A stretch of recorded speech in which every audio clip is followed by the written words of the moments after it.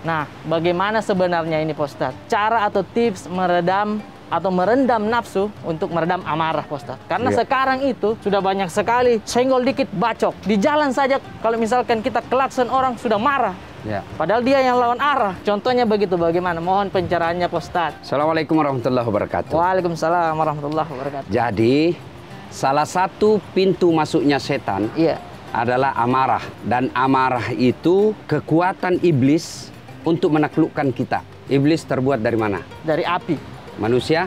dari tanah. Nah, karena itu, karena dia dari api, Iya. panas. Maka untuk meredamnya ada tata caranya.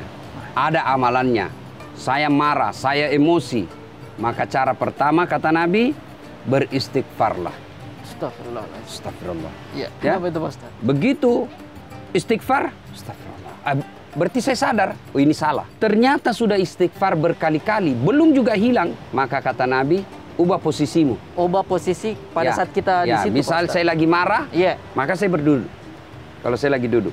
Oh. Kalau saya lagi berdiri, maka saya lagi duduk. Kalau saya ber- ber- berdiri, maka duduk-duduk tinggalkan tempat. Karena pada saat kita duduk begini dan tetap marah iblis di situ, dia tindis kita. Nah, maka kita tinggalkan tempat itu. Ternyata masih juga marah, maka kita wudhu, Oh.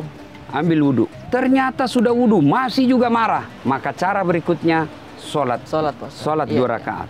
Nah ini kiat-kiatnya, kiat meredam marah. Kalaupun ada kiat tambahan, Iya, maka iya, jangan salah memilih teman curhat.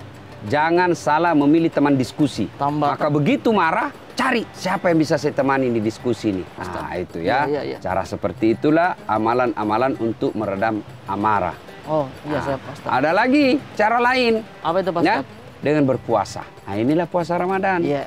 Karena orang berpuasa itu salah satu tujuannya mengendalikan hawa nafsu. Hawa nafsu inilah yang tempatnya setan masuk. Tapi tidak berarti bahwa marah tidak boleh. Iya, iya. Boleh, tetapi marah pada tempatnya. Marah pada tempatnya itu adalah marah karena Allah. Marah karena Allah. Bukan membela ego, bukan membela kepentingan saya, tapi saya marah karena membela agama Allah.